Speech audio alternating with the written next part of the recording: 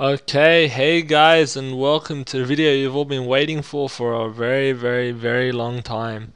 Now, guys, I come to you with really, really good news, and um, yeah, let's get right into it then. So, um, we've recently had the exploit for the PS4 firmware 4.05 released.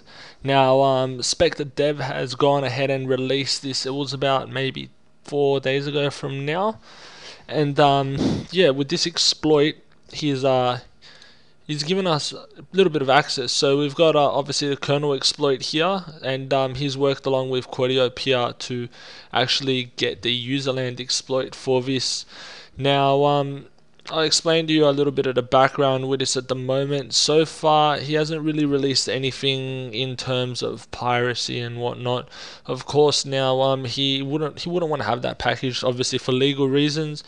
Um, the exploit is more than capable of doing that as long as you guys are able to weaponize it correctly. But um, essentially what we've got now is just an exploit that runs and um, obviously this is through the dev kit sorry the web kit as well. So you do it through the web browser and you launch the exploit as you can see here in um, in this image that Greg has posted. So uh, with that being said, you need to run this server yourself on your own computer at home to um to be able to actually you know get your PS4 to log onto it or not log onto it to connect to it, and then actually be able to uh, exploit itself. Now, you guys might be thinking, is this like a normal jailbreak? Well, it is and it isn't.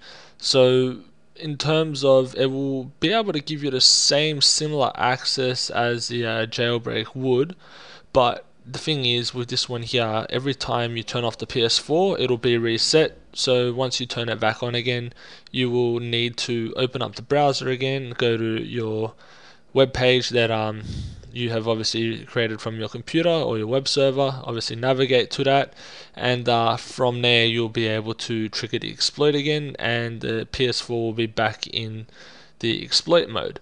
Now, um, what he has actually released, SpecterDev, is he's released a file that will let you enable the uh, the actual developer options. As you can see here, they've got the video with the debug settings.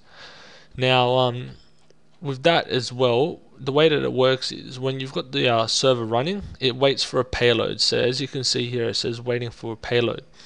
Now, you would run this file and you would um, tell the computer to send it to your PS4.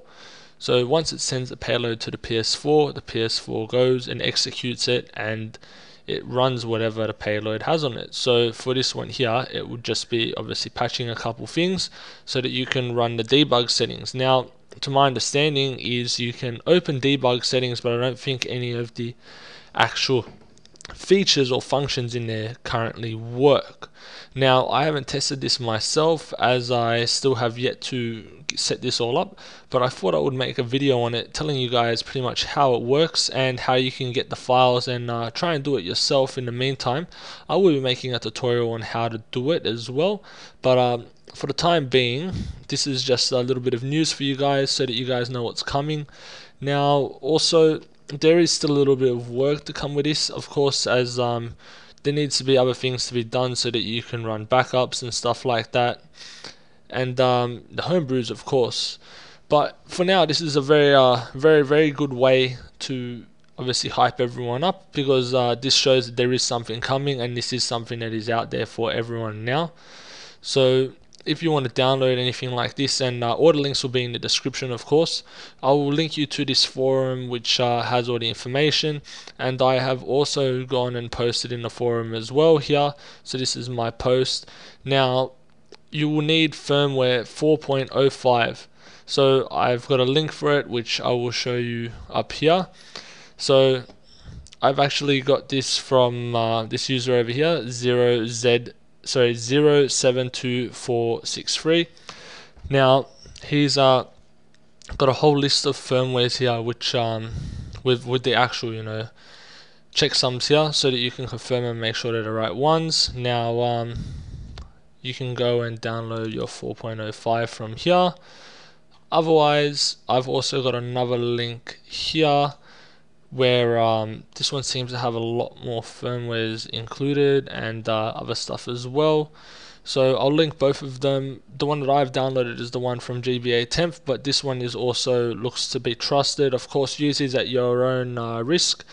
I would um I would probably recommend them over some of the other dodgy things you could find on the internet. But um again, I'm not responsible if anything happens to your console if you install one of these firmwares. And um, also with the exploit, this will be the GitHub from the actual uh, creator, which are you can really grab the files from. So here's the uh, explanation. I've already gone ahead and cloned this GitHub as well, but uh, you can go ahead, you can Google for this, or I will have it uh, in the description. And um, you can go ahead and download these files as well. And then you obviously need to download a program to help you create the web server. But um, apart from that, that seems to be pretty much everything for this news. Um, yeah, this will be a good uh, good way to start off 2018, and um, a very nice gift from the developer. So if you guys have any questions or anything about what I've said here, don't forget to leave a comment in the description in the description sorry and i will do my best to help you out with it as much as i can.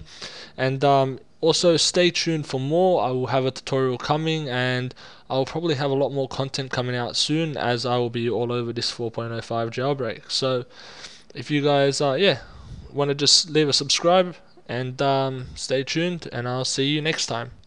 Bye